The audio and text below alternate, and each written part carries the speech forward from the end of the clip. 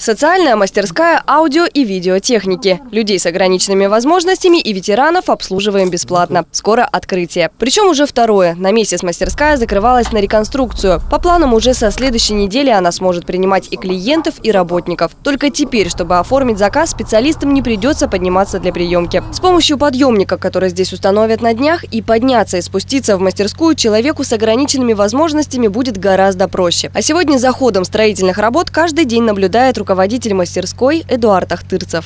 Была проблема большая найти подрядчиков, кто это сделает. А, деньги выделены федеральные на обустройство входной группы, да. А, шесть компаний у нас э, было, э, которые собирались нам сделать это, но в конце концов они отказались. Вот единственная компания, которая приступила к работе, мы им очень благодарны, потому что работу ребята делают ну, для нас великую. Ремонт идет и в помещениях. Часть уже отремонтирована, но работы продолжаются. Смонтирована новая дверь, готовится к монтажу пандус. Реконструируется входная группа. Также за счет средств городского бюджета установлена пожарная сигнализация. А на компенсацию арендной платы, затрат на электроэнергию, а также на другие коммунальные платежи и на содержание сайта идут субсидии. Поддержка социально ориентированных некоммерческих организаций города Владивостока осуществляется с 2012 года.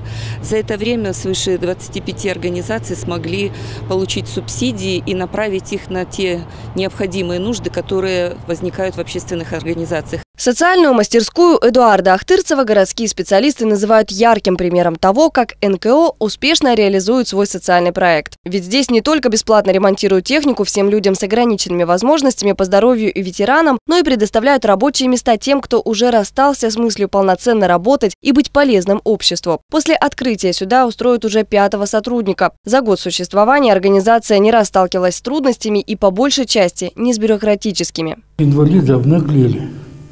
Они, говорится, посади на шею, да, они ножки вот так свесят и начинают права качать.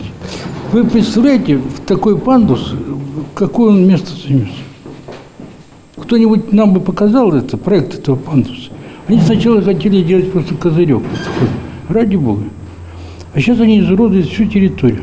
Жильцы подсчитали, будущий пандус займет сразу два парковочных места. С таким непониманием Эдуард Ахтырцев столкнулся еще год назад, как только приспособил подвал под социальную мастерскую. Причем с таким рвением в других дворах не борются даже с наркоманами и бродягами, которые то и дело осваивают цокольные этажи. И все же найти общий язык с жильцами удалось. Да, сегодня здесь, у дома номер 128 по проспекту Столетия Владивостоку довольно шумно работают строительные инструменты. Однако к таким необходимым неудобствам жильцы этого дома были готовы. Специально для этого организовали собрание. Конечно, кто-то был против, но в целом ради благого дела потерпеть согласились. Такая оттепель в отношениях, безусловно, важна и для самого Эдуарда. Пока спокойно. Но я думаю, когда вход откроется у нас, когда все это будет сделано, я думаю, жильцы увидят, что мы не зря шумели этот месяц.